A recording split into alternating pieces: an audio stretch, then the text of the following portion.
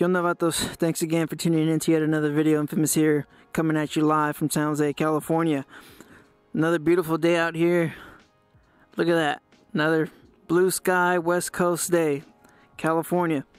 Uh, let's go ahead and get into the uh, topic of today's video, and maybe soon after, maybe today's ride.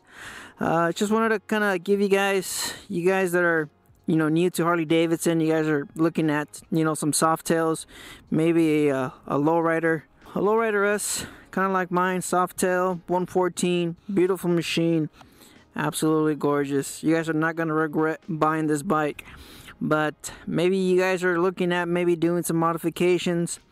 Maybe you guys are uncomfortable with doing so. It's a brand new bike, twenty thousand dollars it's a lot of money and yes I, I understand I get it. It's scary. It's frightening. You might break the bike. You might do something that uh, that could be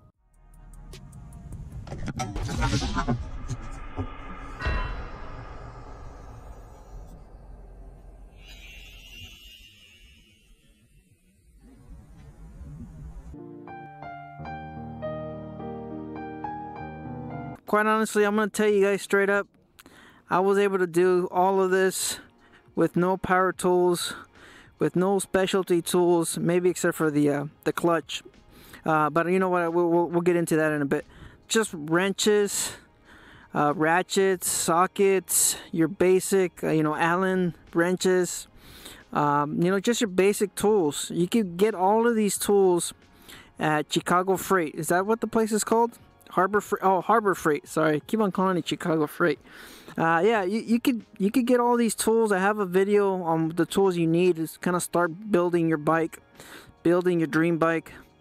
But I'm gonna tell you straight up. Uh, you you know none of this is super difficult to do, and like I said, I did it an area no bigger than maybe 3 by 5 no bigger than 3 by 5 no compressor like i said no power tools uh, no air tools nothing you know that dramatic. You could buy the uh, you could buy the uh, the owner's manual off of ebay a digital copy pdf format for about 20 to 15 dollars. And just start studying look at the videos. There's plenty of videos online a lot of you know helpful tips out there. And I'm going to tell you the easiest installation so far on my build. I'd say the easiest installation would be the seat, and then soon after that, I'd probably say the uh, the Leather Pros. Someone on uh, Instagram and somebody on one of my other videos mentioned that they were having some fitment issue with these uh, with these Leather Pros, and that's when I kind of realized. He said uh, the gentleman I I can't remember uh, his name, but he mentioned that that uh, it's probably like half an inch the the heat uh, plate right here, the heat protection plate. Uh, seems to be touching on his stock exhaust. So, and you know, somebody else also mentioned that earlier, say about a month or two ago, and I guess I didn't fully understand the uh, the question or the comment. So, just a heads up, I didn't mention that in my other video. Maybe that's why the easy mounts are so much easier is uh, because of that because you don't have to swap out the exhaust. That's why the heritage is a staggered exhaust. And then if you look at the sport glide it's also it's also a two into one stock. So you know it makes sense now. And you know looking at the other at the other bikes with saddlebags you, you notice that the exhaust is staggered uh, on those other bikes. So just a heads up uh, if you go with these leather pros you know that's not this video but if you go with those with these leather pros you are gonna have to do some extra work with the exhaust if you have a lowrider S or any of the other uh, stock um, you know stacked on top um, mufflers. Anyways going back into the uh, the build the most difficult installation on the bike I think you guys can pretty much guess what that is by just looking at it. The uh, the risers that was the most difficult part uh, that was the most you know frightening part only because it's you know it's got ABS and people have mentioned that if you don't bleed the brakes uh, correctly you're you might be looking at locking up your your ABS and then uh, you know being stuck Ay, qué poca madre. It's, it's been I think it's been what 3,000 miles now since I've since I've changed the uh, the risers. And you know, Harley Davidson, they don't give you a lot of slack on these lines. Anything over five and a half inches, you're you are gonna have to change your lines. And and you know, I I knew that. I knew that was gonna be the most difficult part. Once you start messing with it, start you know looking at the book, looking at the owner's manual, and then looking at videos, you you know you start building confidence, and that's what you need to do. You have to you know start out small, maybe with the seat, maybe you know something small, something that's not gonna overwhelm you. Maybe the uh, the pipes, and then work yourself up to the uh, up to the big you know the big part, the big service, which is the uh, the handlebars. And I spoke to my dealership, and they wanted a thousand four hundred in labor for the uh, for the for the bars. If you have the money and you don't have the time to do this, then you know by all means go you know go do it at the dealership. They'll do it for you. They're certified. They know what you know. They know the measurements. They know what's got to be done. Except for the 2021s, uh, I believe a lot of the mechanics were surprised that they moved, you know, some some components, a couple parts. I'm not gonna get into it with the 2021s in this video, but yeah, I mean, they they know what they know what they're doing. They see these bikes eight hours, ten hours a day, six, seven days a week. They know these bikes inside out, and it, like I said, if you have the money, you don't have the time, then you know, go drop it off at the dealership. But as far as you know, anybody else, you know, trying to do this, trying to get started, or trying to uh, see if they could do it, and you know, save yourself, a, you know, a lot of money.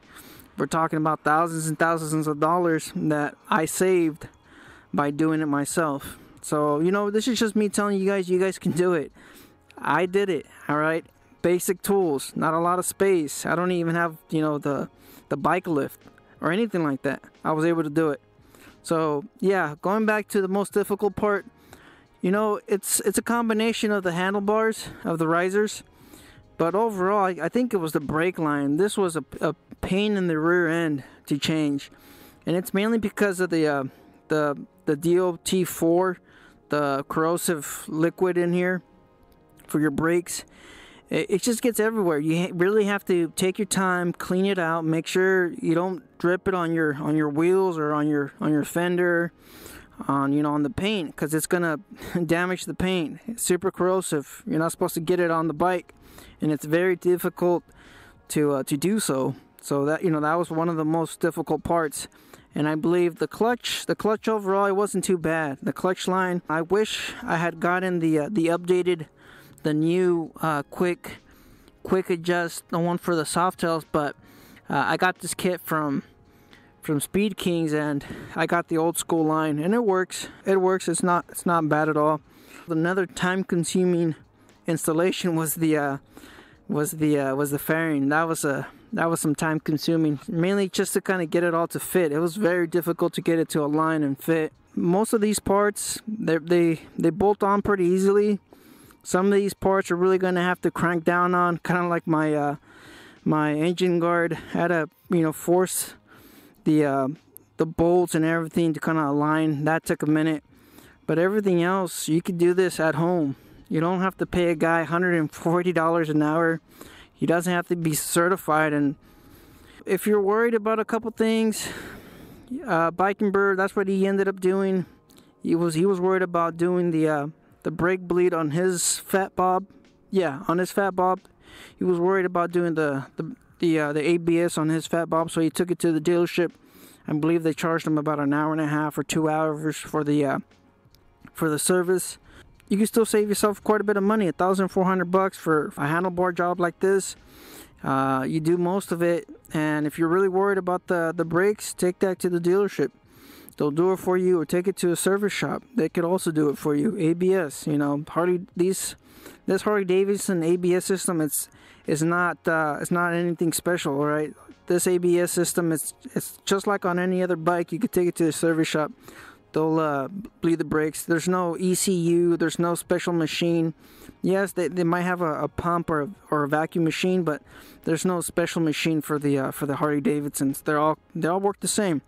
So I have a whole playlist for the uh, handlebars, but uh, you guys can do it.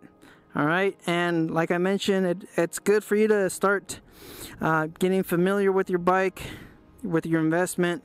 there's going to be a lot of you know plenty of more services you're going to have to get comfortable with and it's good for you to kind of get started on it uh, you know get an idea of what makes this thing work yeah it's just uh you know watch the videos ask questions and just do your homework do your research get that uh, pdf format for the owner's manual and get started. You know work take baby steps. If you're new at this take baby steps and then work yourself up to the uh, to the big job.